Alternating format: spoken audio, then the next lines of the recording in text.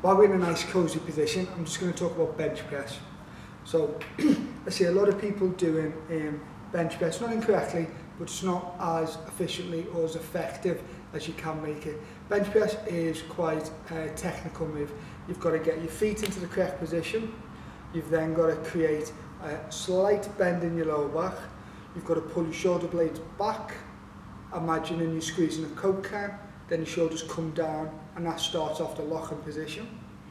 From that starting position, as you come up, you're going to push, but you're also going to drive with your legs, which engages your glutes, which fires your hips, which increases your power you're able to lift.